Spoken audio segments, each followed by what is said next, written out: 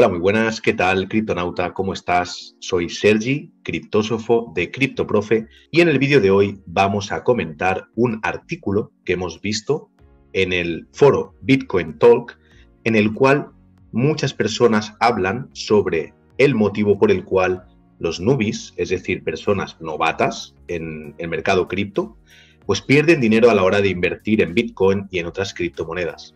Este vídeo es el primero de una sección nueva en nuestro canal de YouTube en la cual comentaremos aquellas noticias que nos parecen más relevantes, así como aquellos artículos o posts en blogs y en foros que nos gustan, para que sepáis un poco qué está opinando también la comunidad cripto angloparlante, porque lógicamente ya conocéis muy bien pues qué opina la mayoría de gente de habla hispana, pero también es interesante saber qué opina la comunidad de otros países, ¿vale? Entonces, bueno, vamos a, ir comentando este, este post.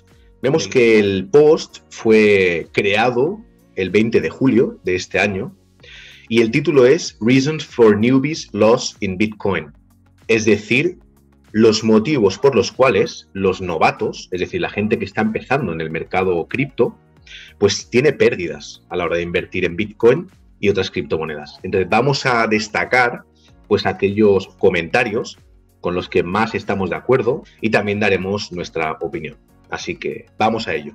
Para empezar, aquí lo que está diciendo el usuario Worle1BM es que, claro, las razones por las cuales los novatos venden Bitcoin es porque compran en el top, es decir, cuando hay más euforia en el mercado, probablemente porque, bueno, han visto más noticias positivas sobre Bitcoin, porque han leído en Twitter, en Telegrams, pues que es buen momento de compra, porque algún amigo le ha dicho, oye, ¿has visto cómo está subiendo Bitcoin?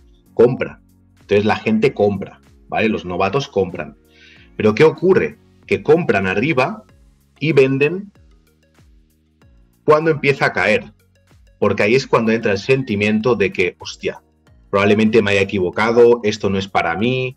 Y claro, esto es un problema realmente, porque si tú inviertes en algo, tienes que saber dónde estás invirtiendo, por qué lo estás haciendo. Tienes que seguir una estrategia. Y en este caso, los novatos no, no analizan el, el por qué han vendido o por qué han invertido. Y la cuestión aquí es que el novato, cuando vende, muchas veces abandona el mercado para siempre. Grave error. Porque realmente de los errores se aprende. Y si te das cuenta de que has vendido en un mal momento, porque semanas o meses después el mercado recupera, como ha recuperado hace poco, pues se dan cuenta de que habían cometido un error. Por eso es importante que seamos autocríticos y cuando cometamos un error sepamos aprender de él y tomar mejores decisiones en el futuro. Entonces, el autor de este post comenta que hay tres principales motivos por los cuales los nubis tienen pérdidas a la hora de, de invertir. El primero de los motivos es que la gente se piensa que Bitcoin es una buena herramienta para hacerte rico de la noche a la mañana. Y esto es un grave error. Tenemos que ver a Bitcoin como cualquier otro activo financiero. Tenemos que ver a Bitcoin y cualquier otra criptomoneda como una inversión más. Es verdad que Bitcoin está creciendo a pasos agigantados, pero claro, tenemos que entender bien los ciclos de Bitcoin, tenemos que entender bien cuál es nuestro motivo por el cual invertimos y seguir una estrategia debidamente. En segundo lugar, la gente ignora el factor de la volatilidad y los dampeos del pasado. O sea, tenemos que tener en cuenta que Bitcoin es un activo muy, muy, muy, muy, muy volátil. Entonces, lógicamente, tenemos que tener en cuenta que el mercado de las criptomonedas es el más volátil del mundo. Entonces, si vas a invertir en este mercado, tienes que tener en cuenta el histórico, tienes que saber que durante cada rally, durante cada bull run, habrá muchas correcciones. Y muchas de ellas van a ser muy fuertes, como la que hemos vivido pues hace un, un tiempo. Entonces, siempre es imprescindible conocer el mercado en el que te estás metiendo. Por último, el tercer motivo que expone el autor de, este post es que tenemos que tener en cuenta la manipulación de las ballenas, es decir, los inversores que más bitcoins tienen en su haber y más poder de compra tienen, y también el food, que es el, es el acrónimo que significa Fear, Uncertainty and Doubt, es decir, miedo, incertidumbre y duda. Entonces es muy importante saber que las ballenas van por libre y son, junto con los mineros y los exchange, los principales actores de este mercado tan volátil y tan interesante. ¿Vale? Entonces tenemos que saber que las ballenas deciden cuál es el punto de compra, cuál es el punto de salida y entonces estamos a su merced. Por tanto, es importante que no pensemos como inversores pequeños, como nubis. Tenemos que pensar como los mayoristas, como las grandes empresas y los grandes inversores. ¿Qué harían ellos? ¿Vale? Cuanto antes nos metamos esto en la cabeza, mucho mejor. ¿Por qué? Porque en este caso, si vemos que las ballenas están acumulando, siguen comprando, significa que no tienen intención de vender. Por lo tanto, si ellos no están vendiendo, ¿por qué lo hacemos nosotros?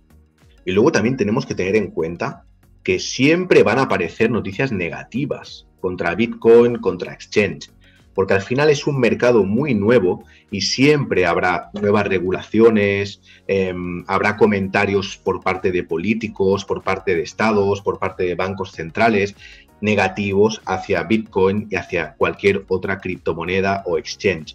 Entonces tenemos que estar preparados. Antes de entrar a este mercado, tenemos que saber que habrá noticias buenas, habrá noticias malas y no tenemos que asustarnos, no tenemos que caer en foot. Esto es muy importante y es un error que cometen los nubis. A la mínima que leen una noticia negativa, China prohíbe las criptomonedas. Se piensan que el mercado va a caer a plomo lo que no saben quizás es que China ha prohibido ya más de cinco veces en toda su historia a Bitcoin.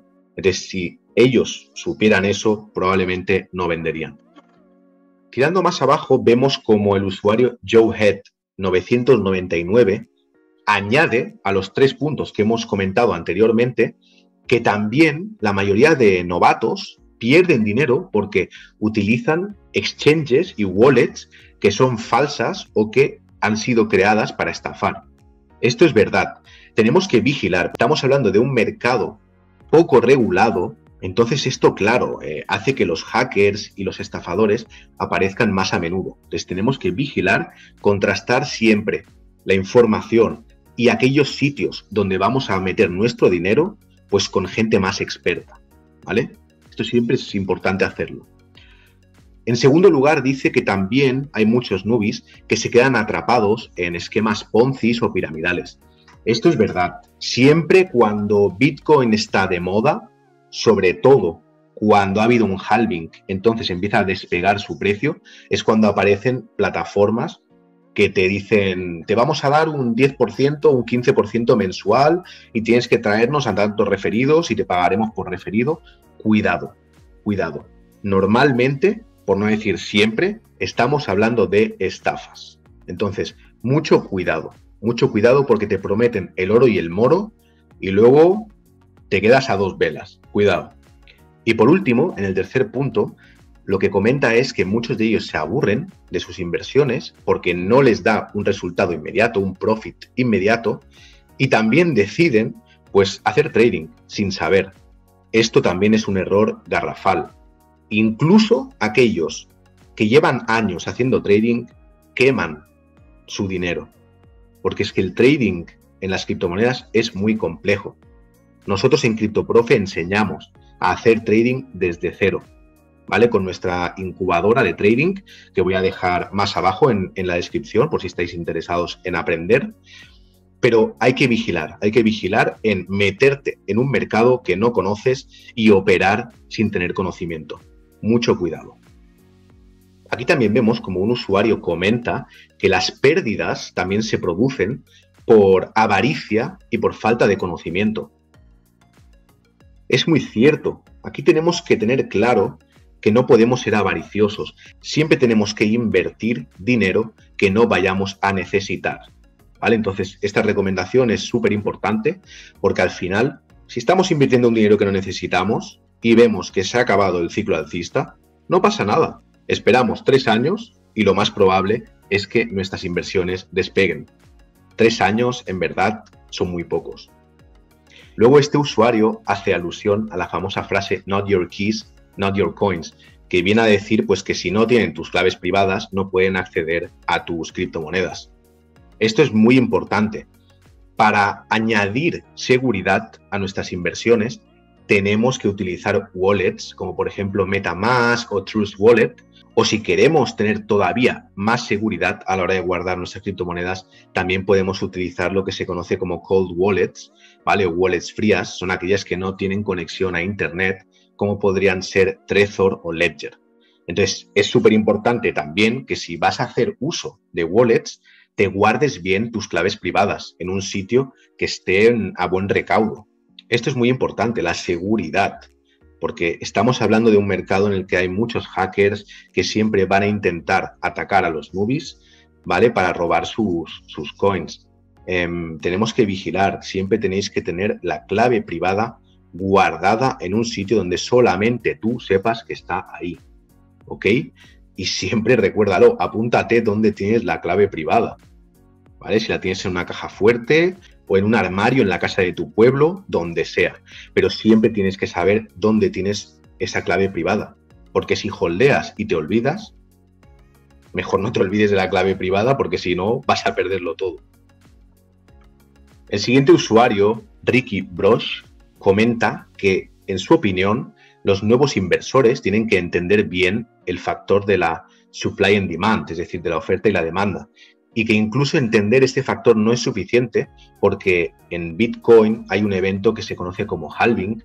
Os voy a poner por aquí sugerido el vídeo en el que explicamos los ciclos de Bitcoin, porque al final este es un factor que solamente está en Bitcoin, no está en ningún otro activo financiero. Entonces, tienes que entender bien cómo funciona la, cadena de bloques de Bitcoin y por qué es un factor que influye en su precio aparte del factor de la oferta y la demanda. Dice el usuario que en su, en su, opinión los nuevos inversores deberían entender todos aquellos factores que hacen que el precio de Bitcoin suba y baje. Lógicamente, cuanto antes entiendas el por qué el precio está subiendo o bajando, más tranquilo vas a estar en el futuro. Entonces vas a saber cuándo entrar, cuándo salir, cuánto tienes que invertir. Y esto al final es lo que te va a dar control sobre tu inversión en Bitcoin u otra criptomoneda. Por último, para terminar el vídeo, vemos como el usuario Death Angel comenta que los novatos pierden dinero en Bitcoin porque no tienen paciencia. Es así de simple, porque al final la paciencia paga en cualquier ámbito, ya sea en el de las inversiones, en el del trabajo, en el de la pintura, en el del amor, siempre paga la paciencia, ¿ok? Entonces tenemos que tener en cuenta que si entendemos los ciclos de Bitcoin, si tenemos una estrategia bien configurada, si creemos en nuestras inversiones y si solamente estamos apostando dinero que podamos perder, en este caso todo lo demás dependerá de la paciencia. ¿Ok?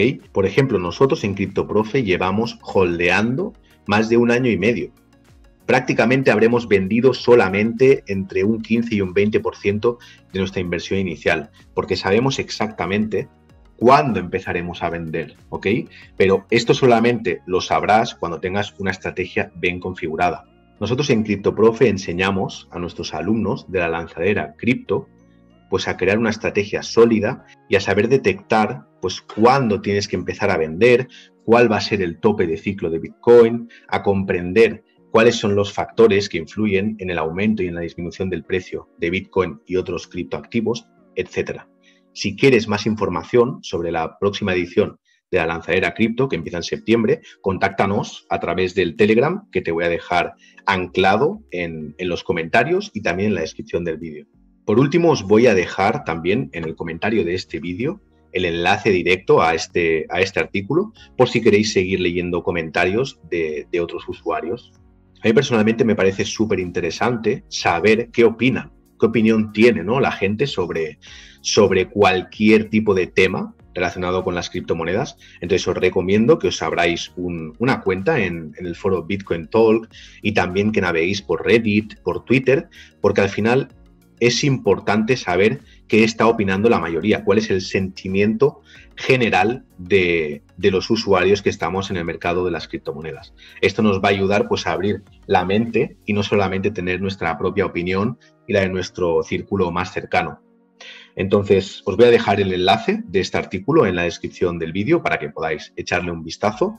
Y nada, pues muchas gracias por haber visto el vídeo, suscríbete, activa la campanita y nos vemos en el próximo vídeo. Go Moon!